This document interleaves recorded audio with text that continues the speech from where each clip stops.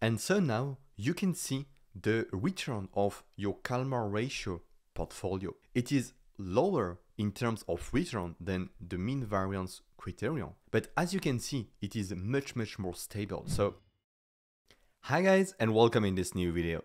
The goal of this video is to explain you how to create your trading bots portfolio or your assets portfolio using a very specific optimization criterion. In one of the previous video, we have talked about the mean variance optimization. So that's a very standard, a basic method, which work very well, of course, but I want to show you something more specific this time. And this time we'll talk about the Calmar ratio criterion. This criterion is more adapted to trading strategies because it will reduce more the drawdown.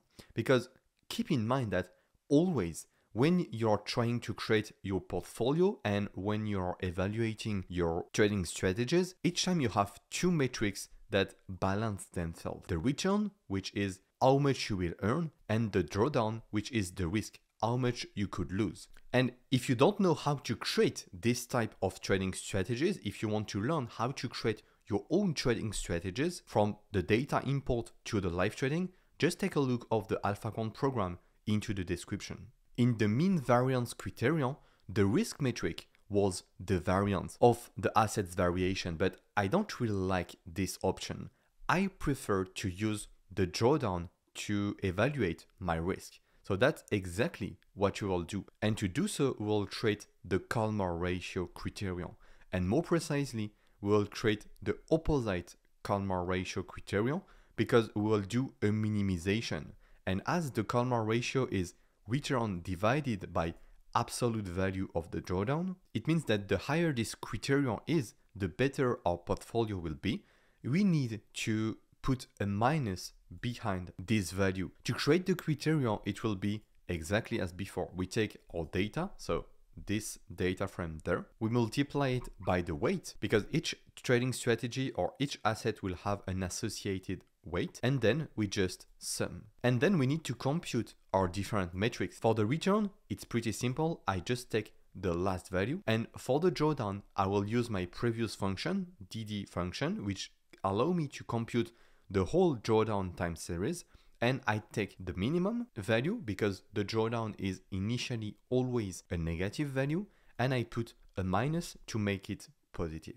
And to be 100% sure I put a positive value, I can use directly the np.absolute value function. And then I create my criterion, return over max drawdown, and I need to put a minus behind because I will minimize this criterion. Then for the optimization, it's the same thing as before. So I would advise you to take a look to the previous video if you are not comfortable with the things I will explain you right now. First, you need to put the criterion. Then you need to put an initial value for the weights. We have put an NumPy array containing only ones, okay? Then you need to create the constraint using this form there. And for us, the constraint will be, I want to use 100% of my capital. That's logic because if I use only 10%, 20%, I will have 80%, let's say, of my capital that is sleeping. So that is not bringing more money, okay? So I want to use all my capital. Then you need to set the bounds for each variable, okay? So for each trading strategy or for each asset. And that's a very interesting thing because I can modify it. I can put, for example, 0.05. It means that my allocation to each asset needs absolutely to be between 0.05 and 1. Okay, so it means that at least on each trading strategy, because you have them that are profitable, you want to invest 0.05, okay? And then with the last 50%, you can invest them like you prefer, okay?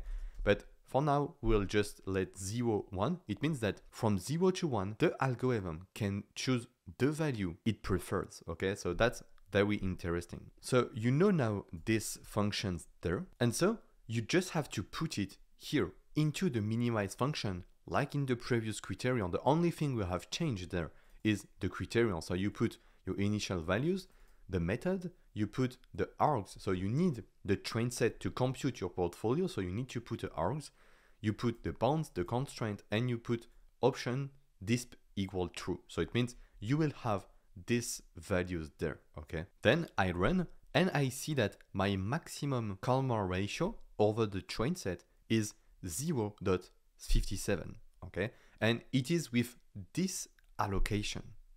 And here you see if I change the bounds from 5% to 100% for each asset, you can see that there, each asset has at least 5% of allocation. So that's a very good way to say, okay, you have 50% of my capital that you can invest like you prefer, but at least put 5% of my capital on each trading strategy because I have worked for them. I want to add them into my portfolio. And so now you can see the return of your Calmar ratio portfolio. It is lower in terms of return than the mean variance criterion. But as you can see, it is much, much more stable. So, and it's something in my opinion that we should prefer, okay? And to be sure about that, we can just take a look to the drawdown. For the mean variance criterion, it's 8% for the maximum drawdown. And for the Calmar ratio, it's a bit less than 3.5%. So it's the half. So if we compute the Calmar ratio over the mean variance criterion, it's 140 divided by 8. So it's close to 18. So it's a very, very, very huge Calmar ratio, but it comes from only the test set. So it means that it's just due to randomness, okay?